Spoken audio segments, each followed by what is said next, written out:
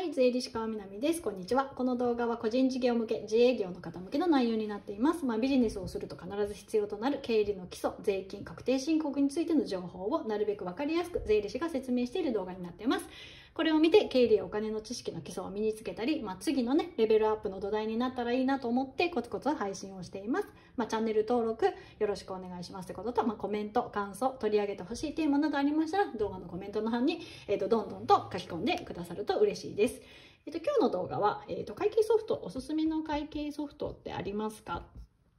について、おすすめ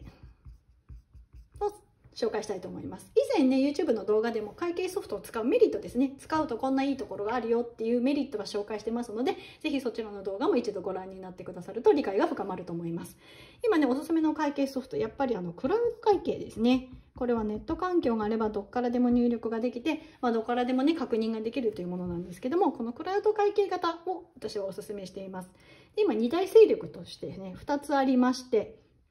フリーっていう会計ソフトと、まあ、これ皆さん知ってるかもしれないですね。聞いたことありますよね。えー、とはマネーフォワードクラウド。っていう2つのものがおすすめになってます。はい。でこっちはですねどういうものかって言いますとやはりこれあの初心者向けなのかなと思います。初めてするような方はあと感覚的に使えるのであの使いやすいっていう方いらっしゃいます。逆にこっちはちょっと経理したことあるとかまあ、簿記勉強してるとか、まあね、簿記持ってるとかね、3級ね、とか、えー、とちょっとかじったことがあるっていう人には逆にこっちの方があの使いやすい見やすいっていう意見もあります。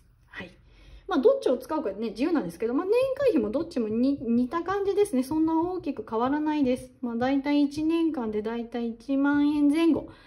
になってますので、まあ、どちらでも、えっと、30日間ね、あの、無料でダウンロードできますので、まあ、両方ちょっとダウンロードしてみて、パッと見てみてね、いろんなとこちょっと触ってみて、どっちが自分のタイプに合ってるかっていうのを、あの、見ていただいて判断して登録していただけたらいいのではないかなと思います。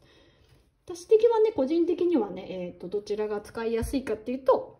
私はこっちの方が使いやすいですね。まあ、最終的なその残高をチェックするときとか、数字の全体を確認したいとか、ちょっとね、ビジネスで経営の要素に数字が欲しいなっていうときを確認するときには、どちらが見やすいかなっていうと、こっちの方が私は個人的に見やすいので、こちらを、えっ、ー、と、普段ね、なるべくこっちをお勧めしてます。もちろんお客さんによってはこっちがいいっていうね、フリーの方が使いやすいっていう方もいますので、今は、えっ、ー、と、両方をサポートしてる指導してるっていう状態です。あの会計ソフトのねあの個人レッスン家庭教師においてマンツーマンで教えて導入から入力の仕方から、まあ、トータルのね入力したものが合ってるかどうかのチェックまでするというメニューもありますのでそちらの方はホームページであの確認してもらえるといいです。あとオンラインサロン、まあ、税理士川南の会議室の方では、えーと、月額制であの税理士を味方につけれるというあとあの起業してねあの同じビジネス話ができる仲間が待ってますのでぜひそちらの方も検討してくださると嬉しいです。今日の動画は以上になります。ありがとうございました。